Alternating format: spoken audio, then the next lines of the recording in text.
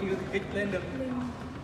Chẳng có cái thao tác mà mình để mình biết thôi mình biết là cái cách mà làm thế nào. Vậy thì à, nếu như chị có kiến thức thì chị có thể hướng dẫn cho các anh có thể hỗ trợ cho chị trong cái quá trình à, tháo ốc chẳng hạn đúng không ạ? Tháo ốc và xịt ốc hoặc là bế cái phân nút dự phòng.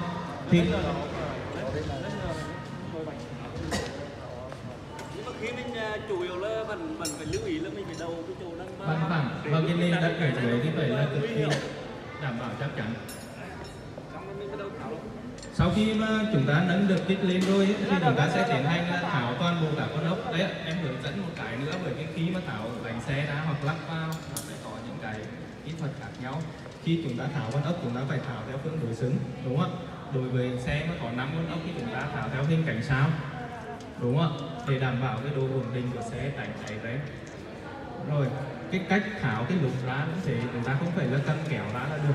Mà chúng ta cũng có cái kỹ thuật riêng sau khi tháo toàn bộ cả cái con ốc của trên cái bánh xe ra rồi thì chúng ta sẽ tiến hành đó là tháo lốp xe ra. Tháo lốp xe ra thì chúng ta sẽ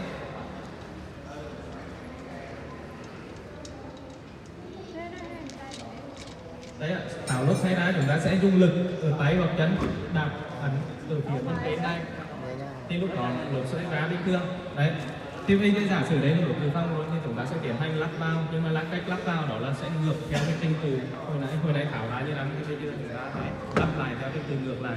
Đầu tiên đó là khớp cả cái lỗ ốc vào phần bu lông đã có sẵn ở trên cái phần à, bánh xe. Sau đó chúng ta tiến hành ráp ốc vào.